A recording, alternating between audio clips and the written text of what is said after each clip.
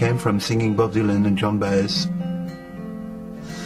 And I was also playing a lot of guitar, a lot of folk, a lot of French traditional folk music, a lot of uh, Irish music, music from Brittany, from Scotland.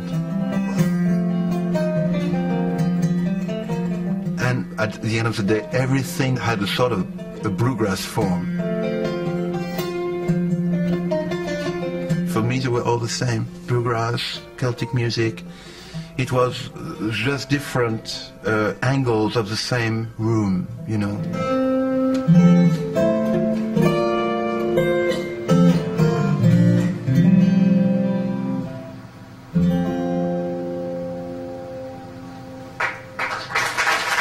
When I started to play bluegrass, I was 15, 16. I discovered that music and it was like an amazing shock for me. I, it, this is where I wanted to be.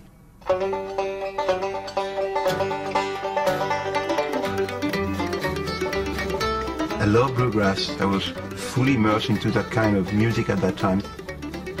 Denis Font had this uh, bluegrass record store in near Montparnasse where this was the only place in Paris where you could find some very, very hard to get records of that style of music. Uh, when Denis mentioned that, you know, Bill Keith was coming and wanted to form a band, he asked me if I could join and everything. I was like thrilled, you know, I could not believe it. Where I first met Pierre, he was playing mandolin.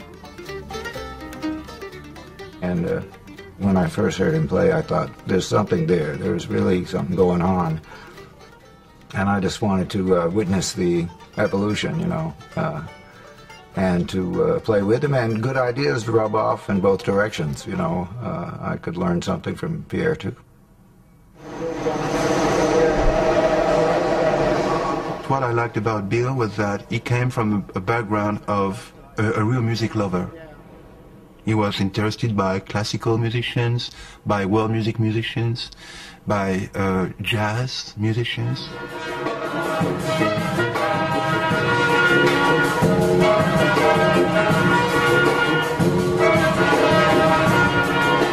He introduced me to Duke Ellington, to Charlie Mingus. I will never forget. I will never forget the first time I heard Goodbye Pork Pie Hat by John McLaughlin. Changed my life completely. we played that song together with Bill Caravan. What is it? Caravan, the Duke Ellington tune. And this is when bluegrass started to, to sort of go away from my life, you know.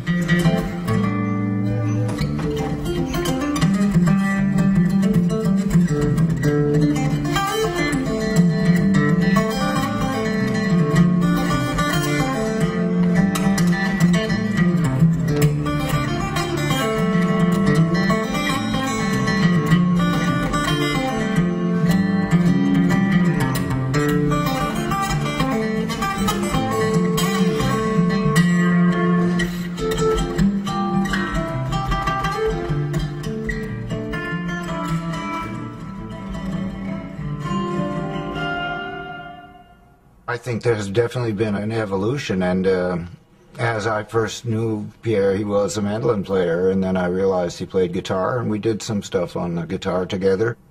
But he was still using the, uh, the traditional guitar tuning also at that point. And I think the big change came when he uh, started using the DADGAD uh, tuning. I knew that um, blues musicians were tuning their guitars differently, so I looked into that, and it was mostly major or minor chords, open, which means that without the help of your uh, left hand fingers, you could uh, just with open strings get already an amazing color. I started to do all, all kinds of experiments, you know, like, oh, what I, I do that. And then I found this one, DADGAD, from, from bass to treble strings, D, A, D, G, A, in standard tuning will be here, A major, in DADGAD. Think what, what's amazing with DADGAD is this, the fact that this bass is down one step, which makes it really, you know, very attractive.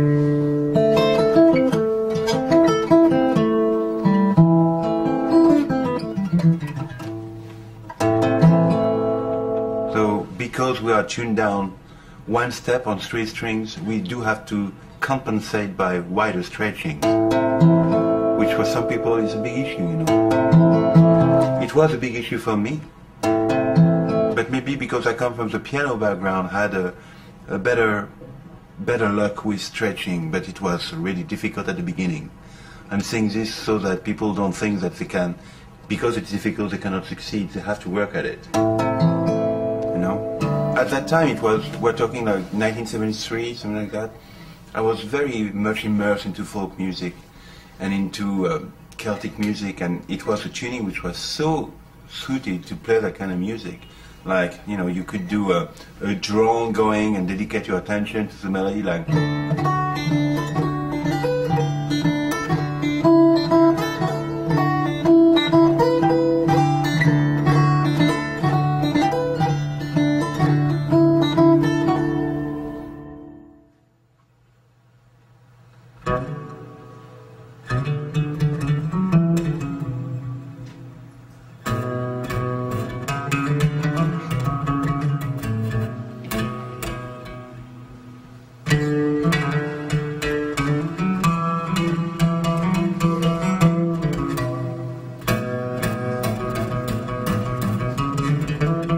Was born during the War of Independence of Algeria in a family who lost everything they owned. They had to regain, to redo their life in France after, you know, Jewish people spent five, six, seven hundred years in Algeria long before the French colonized it.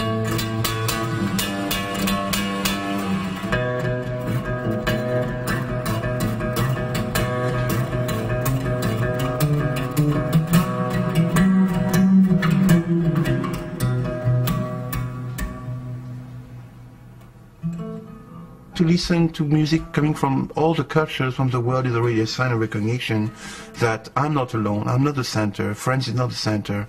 I belong to a, a human chain of people and I'm very much aware, I want to see what people do, how they think, and how do they perceive politics in their environment.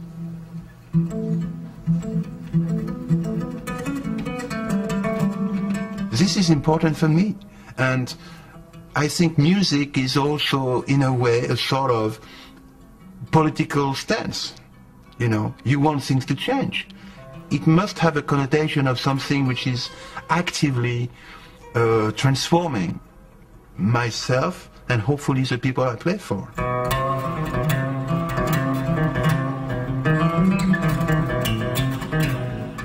It has to be challenging. It has to get the people to think a way or another, you know, to think, just to think.